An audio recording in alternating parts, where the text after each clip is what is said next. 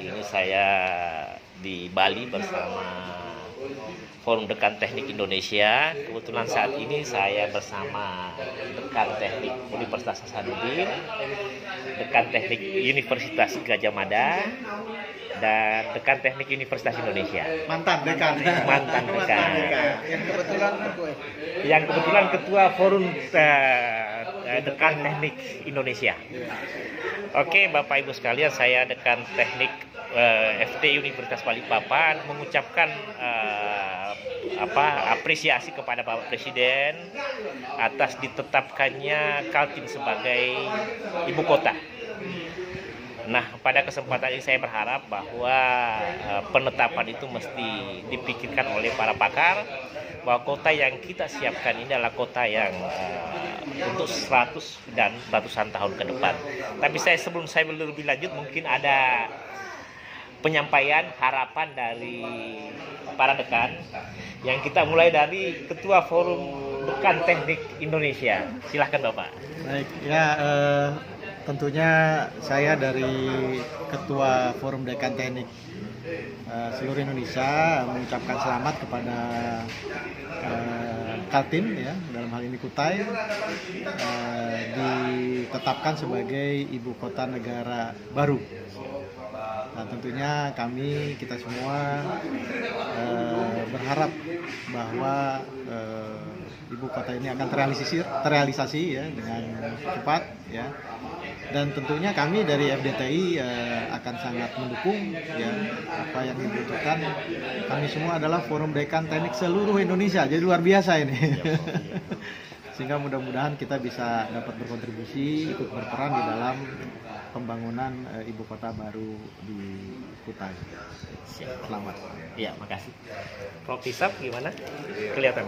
Ya, uh, saya ucapkan selamat pada teman-teman dari Kalimantan Timur atas telah ditetapkannya oleh Bapak Presiden Kalimantan Timur sebagai lokasi baru ibu kota Republik Indonesia.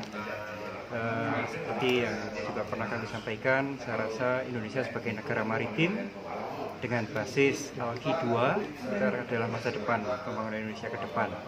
Dan basis utamanya tentu adalah justru maritimnya biru eh, blue ekonomi yang juga saya rasa menjadi eh, keinginan dari pemerintah untuk membangun Indonesia berbasis eh, maritim dan kehadiran ibu kota di sana tentu saja sangat baik untuk perkembangan Indonesia ke depan yang lebih maju, lebih makmur, lebih berkeadilan.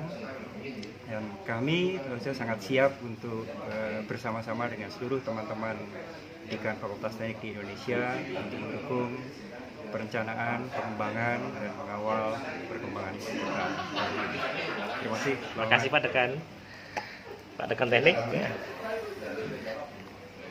Oke, saya kira saya dari dekan Fakultas Teknik Universitas Hasanuddin di Makassar sangat setuju dengan uh, rencana pemindahan ibu kota yang sudah ditetapkan oleh Bapak Presiden.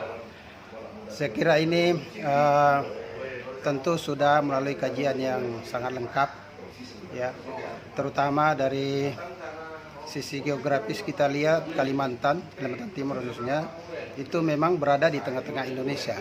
Ya. Kemudian juga kita tahu uh, Pulau Kalimantan itu adalah wilayah yang sangat aman dari uh, bencana, terutama bencana gempa bumi, uh, tsunami uh, dan lain-lain. Saya. Ya. Kemudian lahannya luas, ya tersedia. Kemudian barangkali biaya pembebasannya juga uh, tidak mahal jadinya. Jadi saya kira uh, sangat uh, tepat ya, uh, keputusan dari Bapak Presiden. Karena itu sebagai anggota Forum Dekan Fakultas Teknik seluruh Indonesia, saya sangat mendukung, saya mensupport uh, keputusan ini dan kita akan uh, ikut serta untuk berpartisipasi di dalamnya. Saya kira demikian. Terima kasih. Terima kasih Bapak Dekan semuanya. Jadi tadi kami diskusi secara bersama yang pada prinsipnya kami semua berbicara bahwa eh, konsep yang sudah berkembang saat ini misalnya smart city, eh, green city, forest city atau intelligent city dan lain sebagainya itu masih belum lengkap. Jadi kami kebetulan diskusi kecil yang kemudian akan dilanjutkan besok itu eh, akhirnya berbicara bahwa eh, selain green, smart, forest, intelligent city. Mesti juga satu di dalamnya adalah blue city. Dalam artian ikut memperhatikan masalah kemaritiman.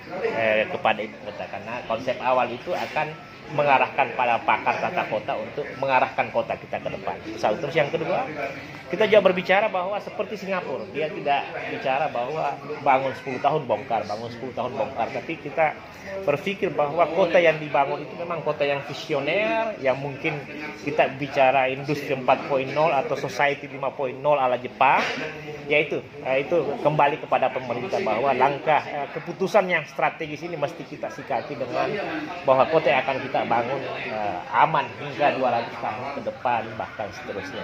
Terima kasih Bapak Ketua, Selamat ya. Bapak Nisam. Mungkin salah satu di antaranya akan jadi ketua baru di sini.